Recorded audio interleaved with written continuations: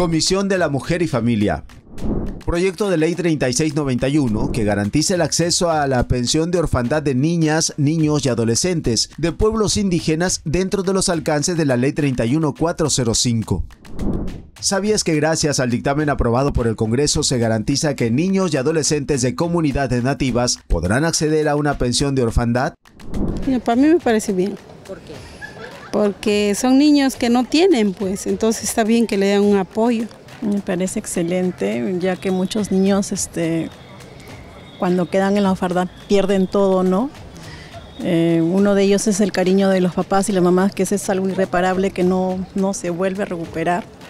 Pero si hay una ayuda de por medio en, algo, vamos a aliviar el dolor y, un poco el sufrimiento que los niños este, tienen, ¿no? Y en este caso, esa ley que se ha ido aprobada sería muy favorable para ellos.